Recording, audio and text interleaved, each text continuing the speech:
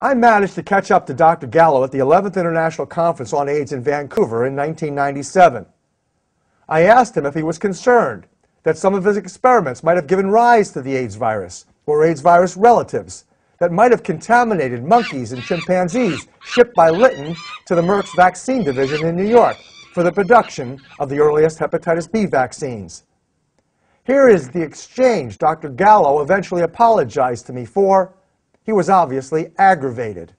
Do you have any concern that your early experiments in taking simian virus 40 in the presence of simian foamy retroviruses uh, and recombining them with cat leukemia and chicken leukemia sarcoma viruses might have given rise to HIV or its relatives following their culture in human tissues, and that these mutants could have contaminated some live viral vaccines produced in contaminated monkeys and chimps supplied to vaccine manufacturers through your affiliates at Litton Bionetics?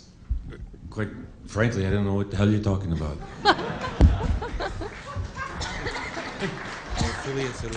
You- Um, you- you I'll, cite, I'll cite your paper, Dr. Gallo.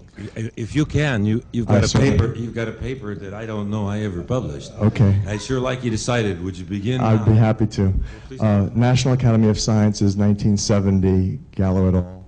It was an oral presentation that you presented before NATO and NATO audiences in 19 in Mol, Belgium. You, you published it. It's in the National Academy Sciences. I'll be happy to show you the Okay, paper. Stop, stop. I mean, this is, is beyond asinine. In Mol, Belgium, my first trip to Europe, so I can remember it, a NATO meeting did take place. NATO meetings fund all scientific meetings all over, all over the world, even East-West at that time. Biologic meetings, scientific chemistry meetings, all kinds of meetings. Meetings about motherhood, fatherhood, everything. And what I talked about in Mol, Belgium, was in the 1960s, long before gene cloning took place, l- before I ever worked in virology. What I talked about was cellular transfer RNA. Okay? And this, that's, that's Well- Mol, Belgium. Proceedings of the National Academy of Science on SV40, I never published a paper in my life on SV40 except the transfer RNA species in SV40 transformed hamster cells compared to non-transformed cells as a control. You've got pineapples, kiwis, grapes, and cherries mixed in with some other tutti frutti. I don't know what in the hell you're talking about. Uh, and, and, excuse me. I'm a little bit tired of this kind of nonsense Okay. and crap. And Gallo, Sarin et al. were Litton Bionetics researchers were your co-authors in which you combined cat leukemia and chicken sarcoma viruses to, to create uh, leuke- expla- to, yeah, to evaluate the created it. Okay, we leuke- created it. Thank I'm sorry, very much. leukemia Yes, sarcoma created all. complex models. I'm really smart. Yes, we did it. Everything I was mean- created by us working in the laboratory. Look, just for those with some re- some little bit of understanding of this, who care about this uh, kind of idea, I've never. I I mean, I've had a lot of things said, but I've never had anything quite like that one. There were people who thought and made postulations that and uh, it was not, not actually directed at me. This is a good one, a new one, but that HIV could have been created in laboratory experiments. There are two answers to that that are definitive, conclusive, that no scientist could have deliberately created them unless he was a super genius and 10 years ahead of his time. The AIDS virus definitively existed long before molecular cloning. That's point one. Point two, we know the full sequence, of the genome of HIV. It was published by our lab in 1985 and by a group from Paris the same, around the same time.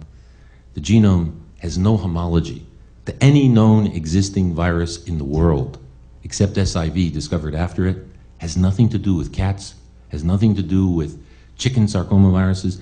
SV40 is a DNA virus that comes from little animals that can transform cells in culture, has no sequences in HIV.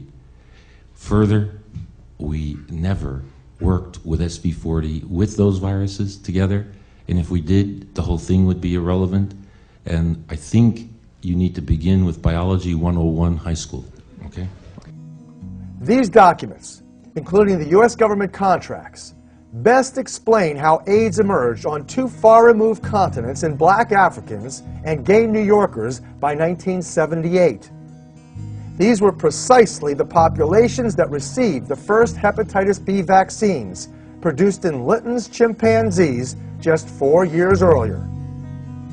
By the way, the man sitting to Dr. Robert Gallo's right is Dr. Jonathan Mann. At the time, Dr. Mann was the AIDS czar for the World Health Organization. Not long after Dr. Mann witnessed my exchange with Gallo, he quit his most esteemed position, saying, quote, far more than a medical problem, AIDS is a socio-political imposition, end quote.